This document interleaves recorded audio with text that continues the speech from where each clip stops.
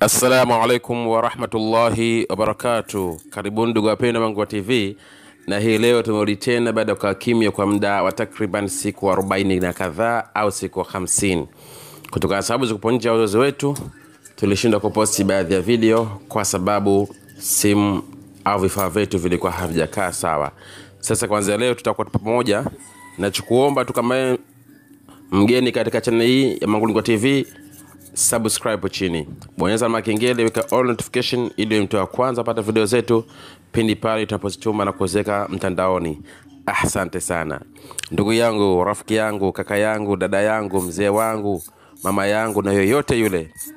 Leo nimekuletea faida kubwa sana, faida ambayo huenda ukaidharau, faida ambayo huenda usiijue, faida ambayo huenda hujawahi kuisikia, au kama ushawahi kuisikia, basi chukua faida tena hii nyingine.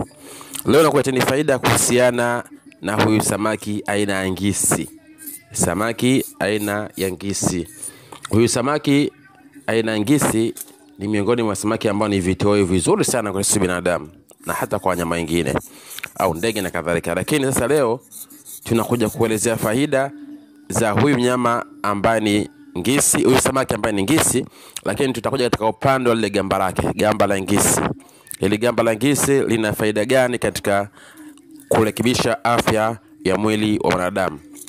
Faida gani ya siri inayopatikana katika hili gamba la ngisi? Ungana nami Dr. Mangulingwa katika video hii ili pate mafundisho haya mazuri zaidi katika hili jambo la faida za gamba la ngisi. Asante ndugu yangu, kaka yangu, nachokuomba ufahamu kwamba huyu ngisi huwa ana gamba lake. Sasa hili gamba huwa tunalitumia katika masuala ya tiba za asili. Hili gamba lipo katika sampuli kama hiyo unayoiona hapo, na hili gamba jinsi lilivyo, huwa unapolipata likiwa katika hali ambayo lina uteute majimaji, bado mbichi, ajafa basi unalichukua lile gamba, unaenda unalianika sehemu mpaka lihakikishe kwamba limekaa katika hali ambayo limekauka likauka ligamba huwa katika hali kama hiyo unavyoiona, kwa maana kwamba hili gamba huwa lina sehemu kuna unga unga mweupe.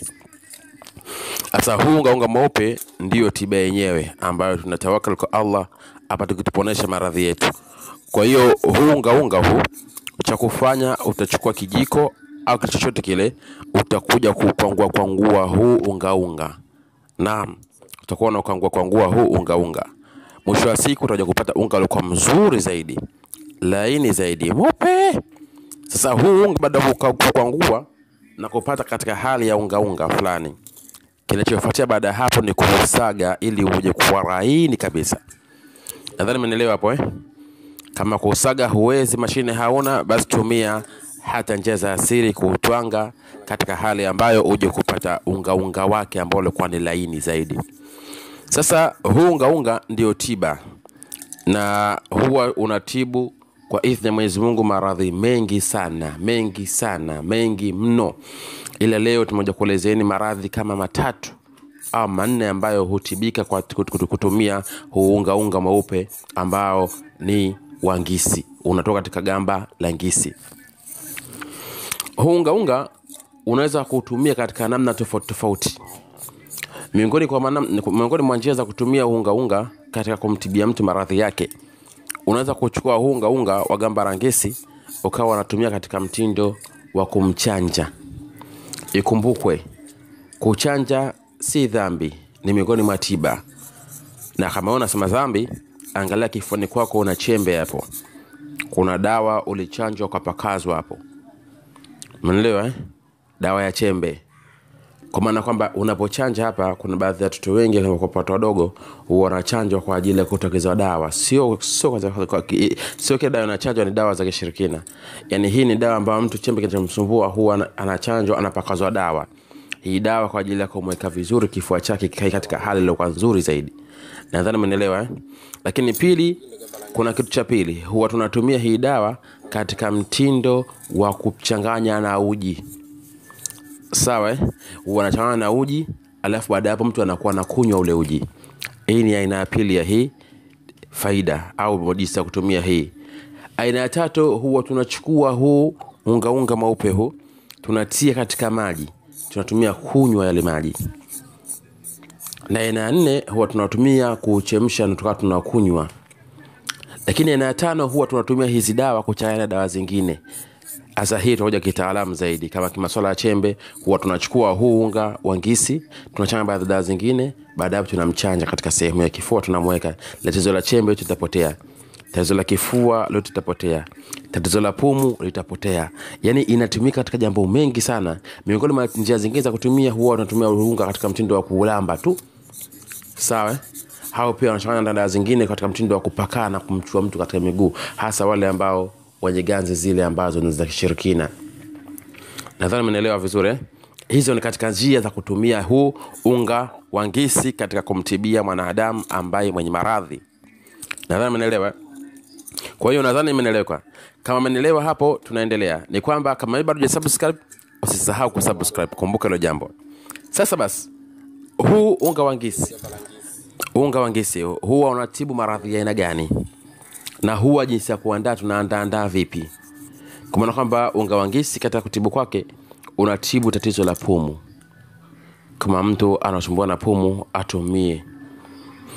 Atumie uunga unga wa ngisi tatizo la pumu litapotea kwa idhini ya mwenyezi mungu. Lakini kuna wale watu ambao mbavu zao zinabana sana mara kwa mara akivuta hewa pumzi hivi mbavu zinafinya. Sawa anaweza akatumia pia huo lakini kuna watu wengine wana tatizo la kifua.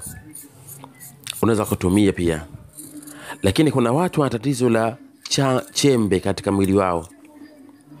Chembe kinamsumbua sana. Huwa anatumia pia. Maana kuchenja hapa mbele na nyuma. Huwa ukitumia kwa uwezo wa mwenyezi mungu natawakal kwa mwenyezi mungu utapona kwa uwezo wa mwenyezi mungu. Nadhani mnaelewa eh? kwa hizi ndizo miongoni mwa faida za hili gamba la ngisi nimeelezea hapo nyuma ni kwamba utaka ulipate vizuri zaidi tafuta hili gamba la gisi sawa baada ya kupata gamba la ngisi kama itakuwa ni bichi basi uweke juani likauke vizuri kabisa. Baada ya kuwa limeshakauka cha kufanya utachanganya na da, baadhi ya dawa ambazo kama wewe ni mtaalamu utakuwa unafahamu. Utachanganya na baadhi ya dawa baada ya kuchanganya hizo dawa utatumia katika mtindo wa kupakaza sehemu. Au kuchanja na kumpakaza sehemu. Au kumlisha huyo mgonjwa. Sawa eh? na huu unga kumbuke unatakiwa usagwe uwe katika hali ya ungaunga uliokuwa mzuri kabisa. Kwa maana kwamba huu ungaunga wa ngisi au gamba la ngisi ndio tiba hasa ya kutibu tatizo la huyo mgonjwa.